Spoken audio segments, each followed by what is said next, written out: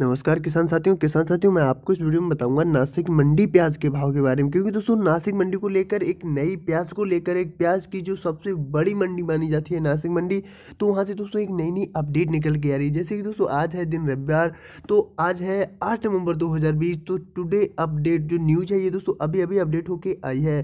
तो दोस्तों, इस वीडियो में आपको सारी जानकारी, सारी अपडेट के साथ बताऊँगा। और आपसे अनुरोध है अगर आप भी हमारा वीडियो पहली बार देख रहे हैं तो प्लीज़ चैनल को सब्सक्राइब करें, बेल आइकन को प्रेस कर दें तो चलिए दोस्तों, वीडियो को शुरू करते हैं।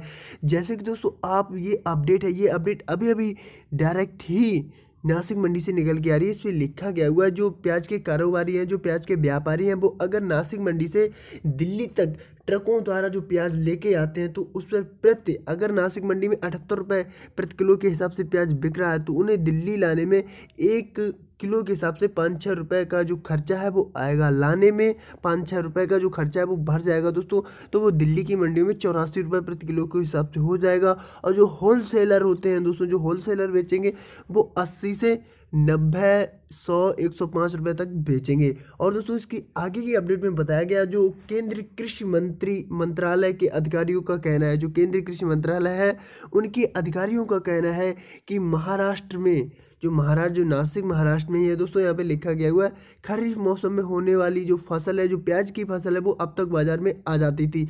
लेकिन देश के बुआई होने के कारण दोस्तों, वहाँ पर क्या हुआ, जब बुआई का टाइम था, तब भी पानी बरस गया और उसके बाद दोस्तों, जब खुदाई का टाइम था, तब भी पानी बरस गया। तो दोस्तों, इसलिए पंद्रह दिन देरी से आएगी।